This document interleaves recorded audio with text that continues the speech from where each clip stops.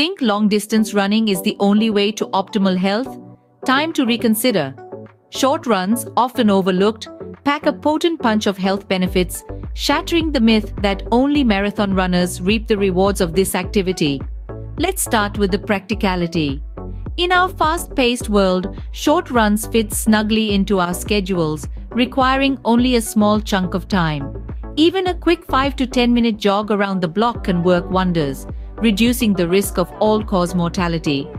A 2019 study found that running for any duration can decrease the risk of cardiovascular and cancer-related deaths by 27% and 23% respectively. But what about consistency? Short runs are easier to stick with, helping to establish a regular exercise routine, crucial for long-term health benefits. They allow for a gradual increase in fitness levels without the risk of overexertion or injury that often comes with longer, more intense sessions. And let's not forget about pace. Worried about not going fast enough? Well, intensity isn't as vital as effort. Light jogging at a moderate pace can actually increase longevity more than strenuous running. Plus, maintaining a conversational pace can help prevent injuries and ensure proper form. Running isn't just about physical health. It's a mental game changer too.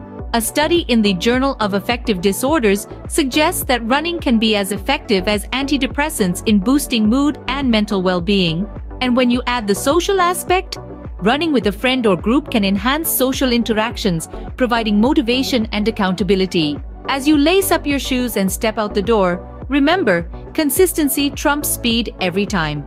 Even a brief jog can make a significant difference in your overall health and well-being. So, embrace the beauty of short runs and experience the profound impact they can have on your life.